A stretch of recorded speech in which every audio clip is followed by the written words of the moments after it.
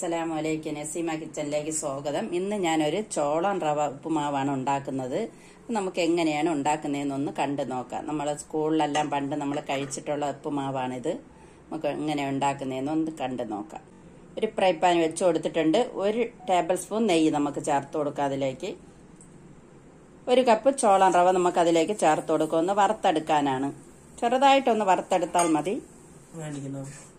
രണ്ട് മിനിറ്റ് വറുത്ത് കൊടുത്തിട്ടുണ്ട്. ഇനി നമുക്കത് ഫ്ലൈമൊക്കെ ഒന്ന് ഓഫാക്കി കൊടുക്കാം.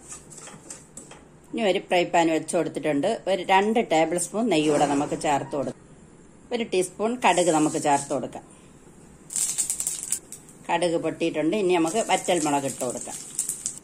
ഒരു ചെറിയ സവാള ചെറിയ പീസായിട്ട് കട്ട് ചെയ്ത് നമുക്ക് ചേർത്ത് കൊടുക്കാം. ഒന്ന് ഇളക്കി കൊടുക്കാം. ചെറിയ പീസ് ഇഞ്ചി കൂടെ ചേർത്ത് കൊടുക്കാം. രണ്ട് പച്ചമുളക് കൂടെ ചേർത്ത് കൊടുക്കാം. കുറച്ച് കറിവേപ്പില കൂടെ ചേർത്ത് കൊടുക്കാം. നല്ല രീതിയിലൊന്ന് നമുക്ക് ഇളക്കി കൊടുക്കാം. ഇനി നമുക്ക് വെള്ളം ചേർത്ത് കൊടുക്കാം. ഒരു ഒന്നേകാൽ കപ്പ് വെള്ളം കൂടെ നമുക്ക് ഇതിൽ ചേർക്കണം. നമുക്ക് ആവശ്യത്തിന് ഉപ്പൂടെ ചേർത്ത് കൊടുക്കാം. ഇനി നമുക്ക് വെള്ളം തിളച്ചിട്ടുണ്ട്. ആ ചോളം ഇതിനകത്തേക്ക് ഇട്ട് കൊടുക്കാം.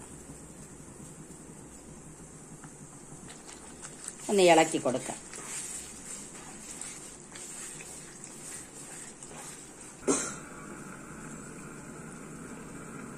ഇനി നമുക്കൊന്ന് അടച്ചു വയ്ക്കാം ഒരു അഞ്ച് മിനിറ്റ് ഒന്ന് അടച്ചു വയ്ക്കാം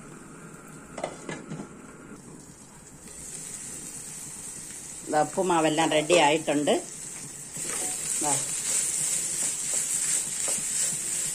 നല്ല ടേസ്റ്റിയായ ഉപ്പുമാവ് റെഡി ആയിട്ടുണ്ട്. ഇനി നമുക്കൊരു പാത്രത്തിലേക്ക് മാറ്റാം.